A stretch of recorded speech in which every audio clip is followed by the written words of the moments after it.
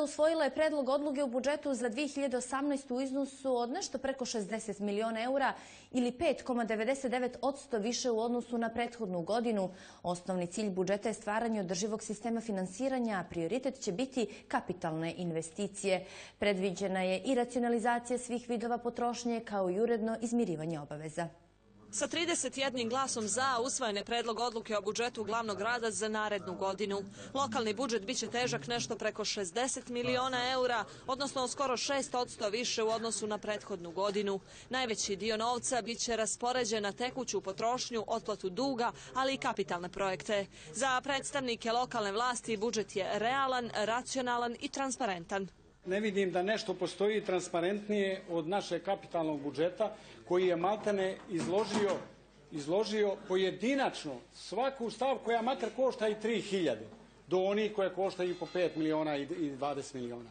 Znači, transparentnije ne može postojati ako vi nešto što je sitno košta 1000 i po i iskažete ga posebno, onda je to transparentnost.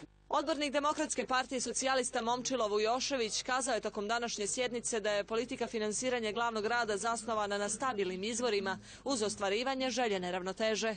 Prihodi su planirani uz blagi rast, dok su tekući rashodi bilježili stalni pad. A kapitalni rashodi također imaju mali porast. Na ovaj način stvoreni su uslovi da organi institucije grada uredno funkcionišu i pružaju usluge građanima, a kapitalnim projektima se poboljšava se infrastruktura grada i stvaraju bolji uslovi za život građana. I zamjenik gradonačelnika Podgorice Boris Mugoša smatra da je glavni grad uspio da poboljša socijalne servise.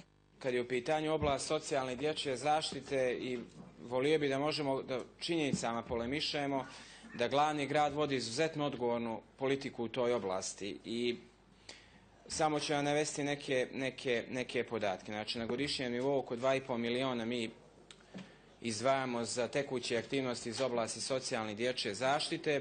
Tu ne računamo kapitalne projekte, a to je, znate, dom starih, to je 288 stanova za penzionere, to je 171 stan za raseljena, interno raseljena lica, na Koniku, to je 30 stanova e, za lice u stanju socijalne potreba. Mugoša ističe da stoga mogu biti veoma zadovoljni rezultatima.